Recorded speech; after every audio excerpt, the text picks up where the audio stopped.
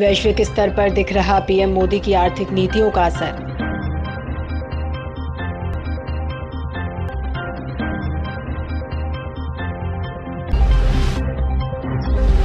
Israel से दिल्ली पहुँची छठी flight, दो नेपाली समेत एक नागरिकों की वतन वापसी।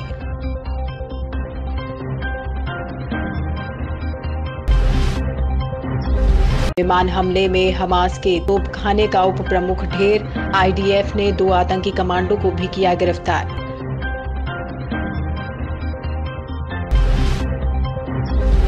उड़ी में घुसपैठ की कोशिश करते दो पाकिस्तानी आतंकी ढेर, एके राइफल समेत पिस्तौल व ग्रेनेड बरामद।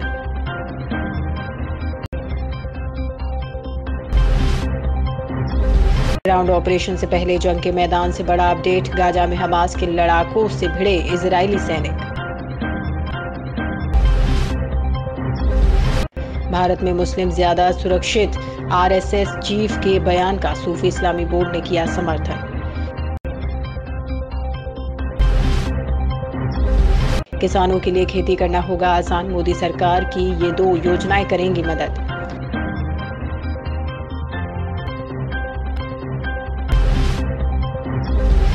भारत में हँसी के पात्र हैं जस्टिस टूडो, किसी लायक नहीं कनाडा के प्रमुख नेता का बड़ा बयान।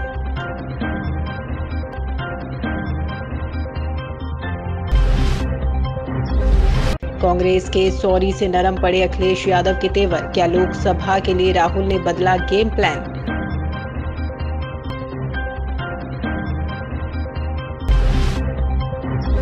यूपी पुलिस में नौकरी का सपना देख रहे युवाओं को सीएम योगी का तोहफा जल्द करेंगे अप्लाई।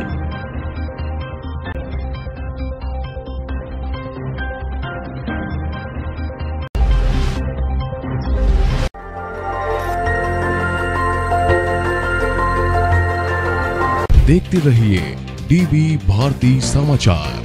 नज़र हर खबर पर।